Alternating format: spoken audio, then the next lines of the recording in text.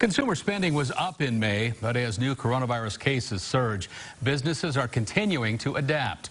Mandy Gaither has our report.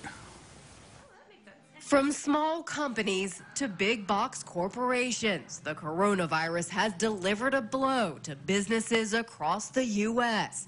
According to the latest report from the Bureau of Economic Analysis, personal income decreased 4.2% in May, but consumer spending went up more than 8%.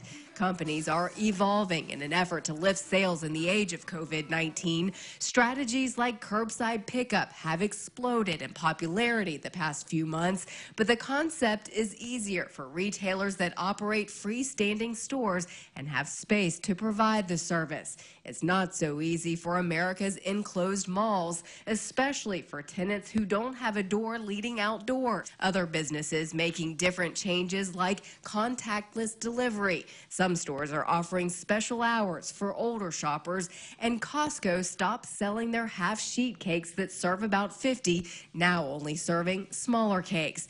With some states scaling back on reopenings, business owners are hoping these changes will help them stay afloat. For today's Consumer Watch, I'm Mandy Gaither.